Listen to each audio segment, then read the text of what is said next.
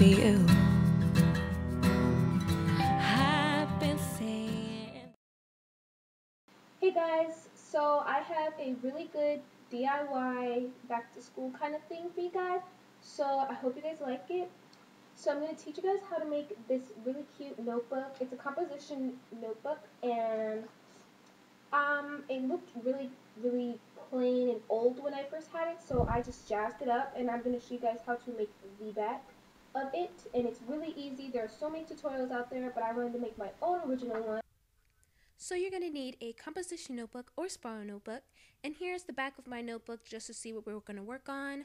A pencil, some Tumblr photos or pictures, whatever you want. And I decided to also print out a Marilyn Monroe picture just as a base. So you're going to take your notebook, some scissors, pencils, and a glue, and start cutting out your based photo. So once you're done cutting it, you're going to begin to glue it and make sure to arrange it the way that you want to. I decided to put mine in the middle, but you can put yours on the side, on left, right, top, down, whatever you want.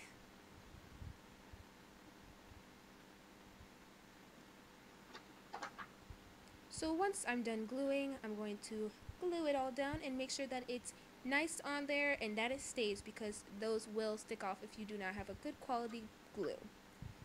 Now make sure to glue whatever you forgot to glue on because I'm clumsy like that and I will forget.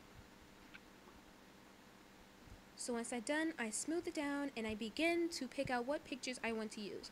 I printed out a bunch of colored photos and yeah. And some black and white photos. So if you want to use a black and white theme, more than happy to. And try to make sure to do smaller ones if you have a really big picture in the middle. So yeah. So once you're done, you want to take a picture of it just as a reference so you don't forget what it looks like once you have to move all that stuff off. And that's what I did. And you can just have it right beside you while you're gluing everything down. So that's what it looks like once I'm finished gluing it. And it's very cute to me. So I left it on my windowsill. It was kind of a hot day and I let it dry. And my dumb self didn't leave the window open for it to dry a little quicker. So once it's done drying, you just want to cut off all the little edges onto it and just turn the book open so that you can actually see compared to the white of the book around. And if you have a composition notebook, the ends will be kind of curved, so watch out for that. So once I'm done with that, that's what it looks like, and I make sure to glue down any extra flyaway pieces that I've forgotten, because I will. Then I'm going to take my homemade Mod Podge glue, which you can buy at the craft store, but I'm just too lazy and I can't get it. And I put it all over my picture. It comes out white at first, but once it dries, it comes out matted, or you can buy a glossy kind. So that's what it looks like at the end, and yeah. Okay. It was that easy, you guys. I hope you guys like this Tumblr inspired school notebook kind of video. You know, there's a whole bunch of them, but I'm going to add my own sizzle to it. And I have so many other videos for you guys.